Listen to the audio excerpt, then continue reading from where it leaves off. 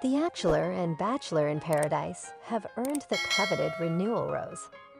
ABC announced Tuesday that both series will be returning to the network for another installment.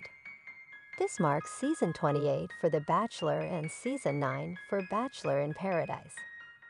This will be a new era for both series, as they will be the first seasons produced without creator Mike Fleiss, who stepped away from the franchise in March following allegations of misconduct. His last season of the flagship show concluded a week prior with the engagement of Zach Shallcross and Kaity Biggar. Another season 27 contestant, Charity Lawson, will be making her debut as the new Bachelorette on June 26. The Bachelor franchise continues to provide ABC with strong ratings, despite overall declines across linear television.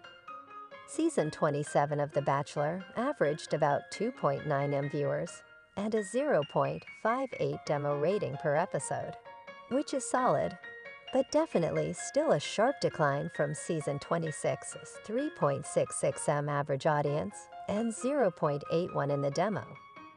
As for Bachelor in Paradise, Season 8 averaged around 2.3 M viewers and 0.54 rating across both Monday and Tuesday nights in the fall. As with its predecessor, ratings for the spin-off series did sink compared to the previous season, which managed ratings in the 0.8 to 0.9 range and around 3 M viewers. The Bachelor and Bachelor in Paradise are productions of Next Entertainment and Warner Bros unscripted television in association with Warner Horizon.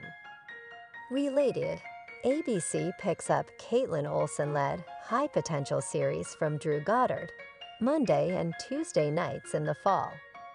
As with its predecessor, ratings for the spin-off series did sink compared to the previous season, which managed ratings in the 0.8 to 0.9 range and around 3 M viewers.